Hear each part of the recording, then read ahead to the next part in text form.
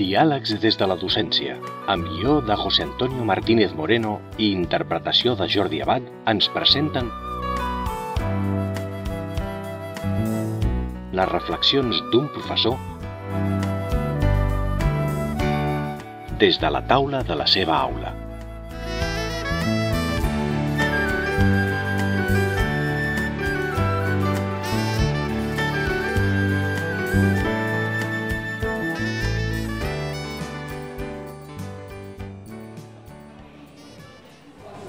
Per tant, la nota final dependrà del resultat d'aquest examen i de les avaluacions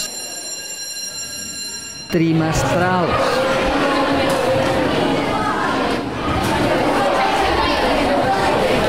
Les aules són les mateixes, els bancs els mateixos, l'edat és la mateixa, però hmm, els temps han canviat. Abans jo era l'alumne i ara sóc el professor.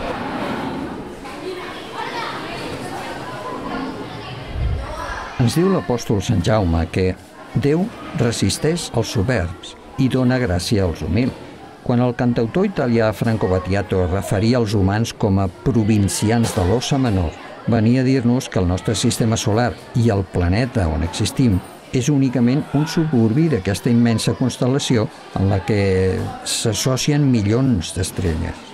Destacava amb aquestes paraules l'absurd enveniment de la nostra civilització i la minsa importància que té el nostre món en relació a les dimensions de l'univers en la seva totalitat. Durant molts segles hem suposat que vivíem sols amb la immensitat de l'espai i que la Terra estava situada al mateix centre del cosmos. Els cossos celestes ens acompanyaven de manera permanent rendint-nos homenatge. Suposàvem que havíem estat creats per Déu només per decorar el firmament i gaudir de la seva bellesa.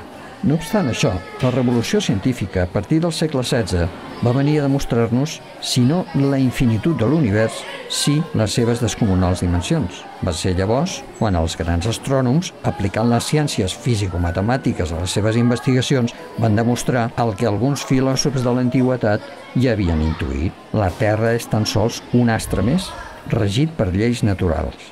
Havíem cregut que el nostre univers no era més complex que el de la nostra infància i ens resultava, igualment, impossible posar-nos al lloc de l'altre i explorar idees i sentiments diferents als propis. La forma en què ens relacionem habitualment amb els altres es manifesta de forma similar a la d'aquell sistema geocèntric. Així, el nostre estil de vida, les idees que tenim sobre els altres, amb els nostres valors i creences personals, conformen un eix al voltant del qual gira l'experiència vital del nostre proisme.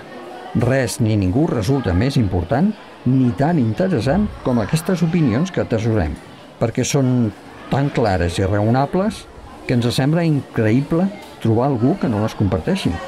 En el fons, aquest és el gran obstacle per al diàleg entre les ideologies. Parteixen de supòsits teòrics diferents i s'allunyen en els seus arguments des del mateix principi de manera que els resulta impossible convergir. El debat polític del nostre país ofereix exemples diaris i invariables d'aquest desacord, però els majors desacords poden trobar-se amb més freqüència entre els creients religiosos. La importància capital que sovint atorguen a les doctrines ens aboca perillosament a assumir postulats en termes de dogmes absoluts, el risc d'assumir-se en actituds fonamentalistes i de rebuig es fa, llavors, evident en els qui pensen haver descobert la veritat, ja que la conseqüència lògica de tal asseveració és considerar els quals no la comparteixen com equivocats, maldestres, ignorants, germans separats o enganyats pel diable, els quals, com a molt, se'ls tolera fins al moment en què per fi coincideixin amb nosaltres. Cada un de nosaltres és un sistema independent de creences, diferent del que té el nostre proisme. Tenim conceptes diferents, idees que no compartim, models explicatius de la realitat que no coincideixen. Ens uneixen, és cert, costums i usos temporals i culturals, però tots sols ens creiem únics i sobrats de raó. Assumim un punt de partida des del qual intentem comunicar-nos sense pensar que pot estar viciat per aquestes oposicions irracionals que sempre impedeixen el diàleg. No podem compartir arguments si no abandonem les nostres màximes indiscutibles. Ens ofenem mútuament quan, des de posicions absolutes, destaquem sense realisme ni objectivitat aspectes o dimensions diferents per tal de ridiculitzar o, o desaprovar per anacròniques o liberals les idees de l'altre. Alguns se senten més còmodes manejant arguments que imaginen liberals o progressistes.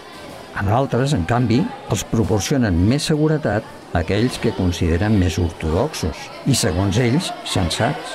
En conseqüència, les nostres opinions, quan no conflueixen, ens condemnen a una estèril falta d'entesa. Critiquem a qui no comparteix el nostre criteri i jutgem amb una mesura que no desitgem per a nosaltres mateixos. Podem, per descomptat, aixecar un mur de preceptes per tal de reforçar la imatge que volem donar i que ens aporta seguretat. No obstant això, com ja va passar en la nostra tradicional representació de l'univers, ignorem que hi ha altres mons personals que no comprenem i suposem que el centre del sistema som nosaltres mateixos. Què tal si acceptem que no som el centre de tot?